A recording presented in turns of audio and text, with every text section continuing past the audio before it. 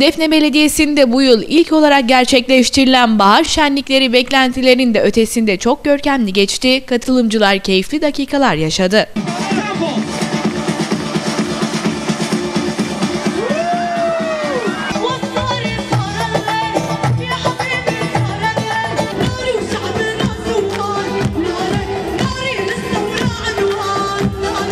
Defne Belediye Başkanı İbrahim Yaman şenlikleri 10 binin üzerinde kişinin ilgiyle izlemesinden büyük mutluluk duyduklarını belirtti. Bunun bir anlamda Defne halkının sanata, müziğe, resme, kültüre verdiği önemi gösterdiğini de söyledi. Uçuyoruz. Evet, alkışlar Orhan Kalkan için. Alıp götürecek masayı.